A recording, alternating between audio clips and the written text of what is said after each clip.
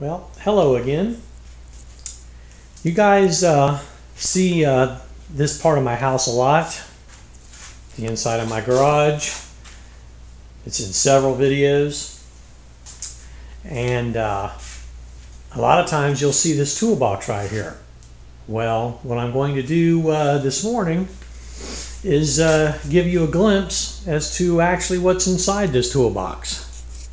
So let me switch to close-up mode here and get my little stool to stand on for the top part of it.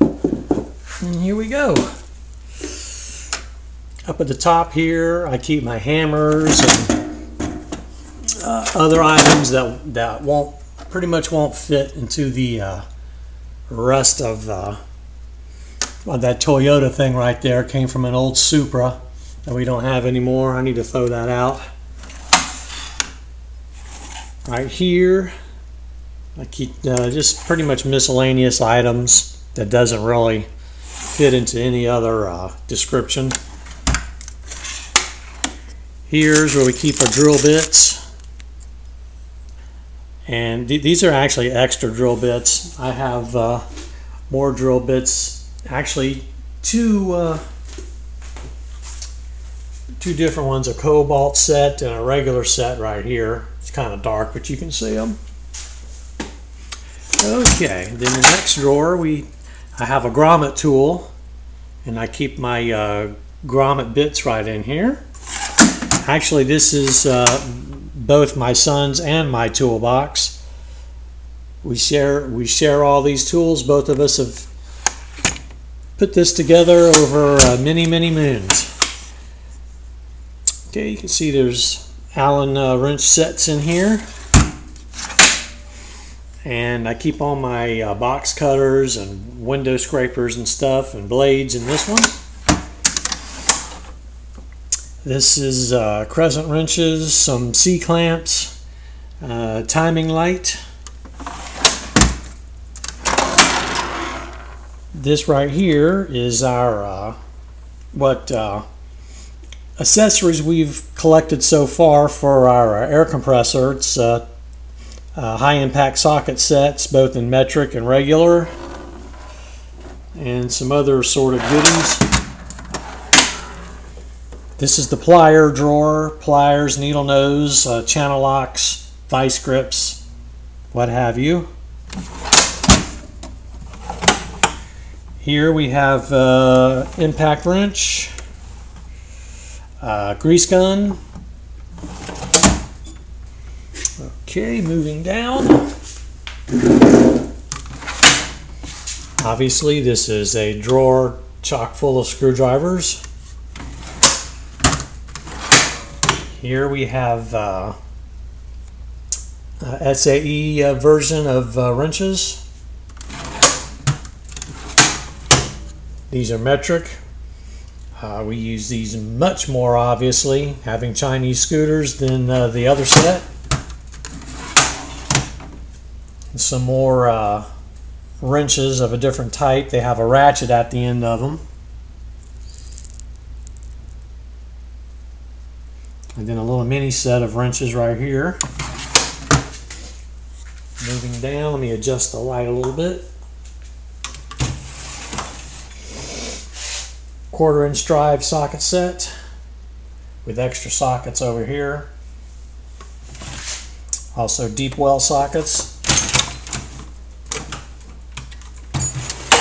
Same thing here, the 3 8 drive. Both metric and SAE and deep well. Half inch drive here. Obviously we have uh, some opportunities to pick up some sockets that we don't currently have, but we really don't use this set a lot. Especially nothing on a scooter is going to require a half inch drive that I'm aware of. Some more uh, deep well sockets, that's for the half inch drive. Uh, and various other little items. Breaker bars, what have you some more assorted wrenches. This set of wrenches right here I've had for about 25 years, more or less.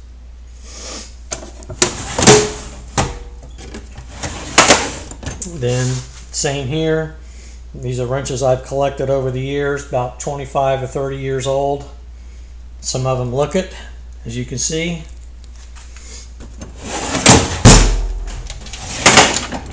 This area here, uh, basically just uh, kind of a catch-all, our work belts, uh, some oil wrenches, some saws, and then this is what you would uh, call a catch-all drawer. Pretty much catches everything else. Drunk, junk drawer, if you will, although it's not junk. See some power tools right here. And there's another toolbox down there that has uh, uh, unique items that doesn't fit in with the other stuff, uh, electrical items. I can't get the light over here, so I'm not going to bother opening the drawers, but there's uh, there's two, there's three large drawers and two small drawers on that one. You can see our air compressor here. This air compressor, uh, if I had to do over again, I would have bought a different one. It, it does okay, but uh, I'm not real happy with it. There's other ones on the market out there that are better. This is a Craftsman, but for the price, it does it does a good job. You can see over here. There's my gas can for the scooters, the big, the five gallon one keeps non uh, non ethanol fuel, and we keep that in there. Non ethanol fuel. Excuse me. Uh, for Chinese scooters, non ethanol fuel is much better than regular fuel.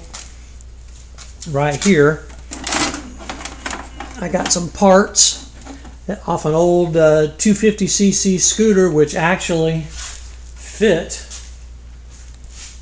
my uh, 150 over here. So if uh, anything ever happens to my body panels on this scooter, I have some replacements over here, albeit they're not the right color, but still, uh, should anything like that ever happen, I have the option of re replacing the body panels. Now what I'm fixing to do here over the next three days, if I can, on this wall right here, get back a little bit so you can see it. This wall right here, I'm going to add a shelf that extends down the entire wall so I can start putting my scooter parts on, on this wall. Right now I have them on a rack over here. You see my mine and Better Half's helmets, our gloves, extra trunk down here. And uh, then I have a box here with scooter parts.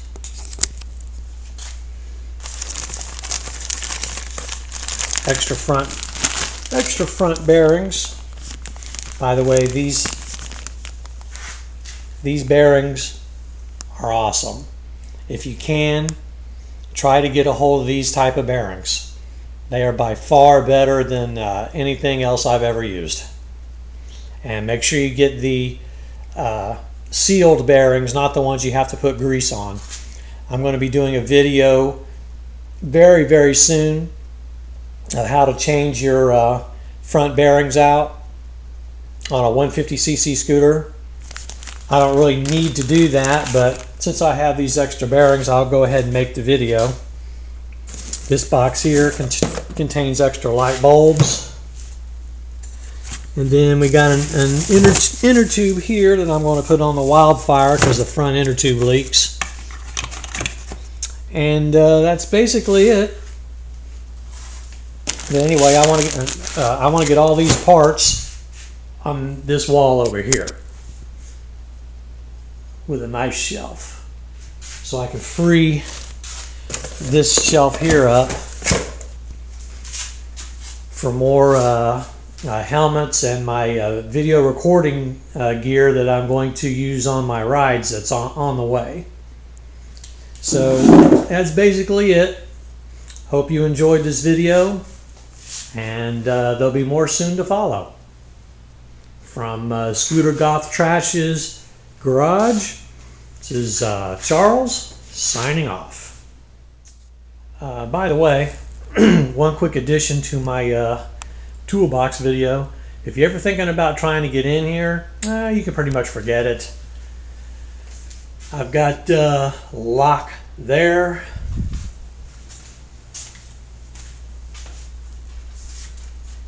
Lock over here. There'll be another lock on that latch very soon right there. And I'm going to install another lock at the top and another one over here. So it will be quite impossible to bust into my garage. Uh, even if you come through the house, you pretty much uh, going to have a difficult time with that door. And uh, by the time you uh, get through, one of my neighbors will spot you anyway.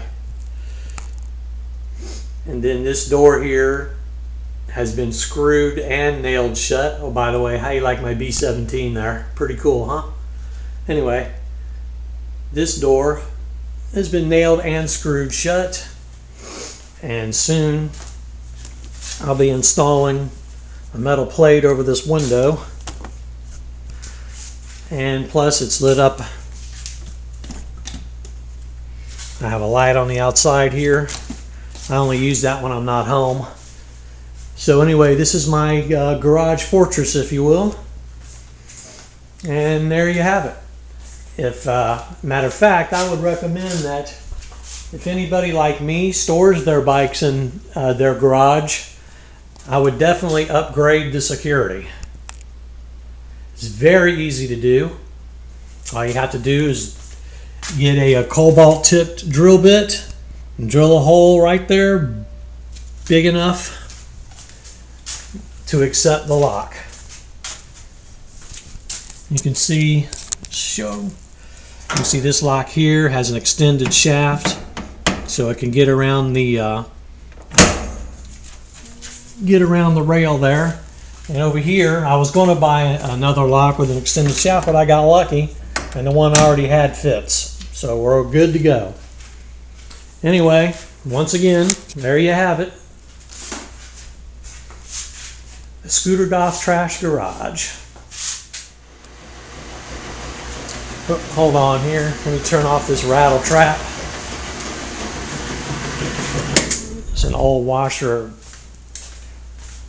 Makes a racket like a busted chainsaw. Just a real quick, uh, quick one here.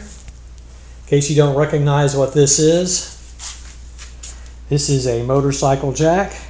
And if you want to engage this hobby, engage in this hobby, you'll, you're definitely going to need one of these. There you have it. Motorcycle jack.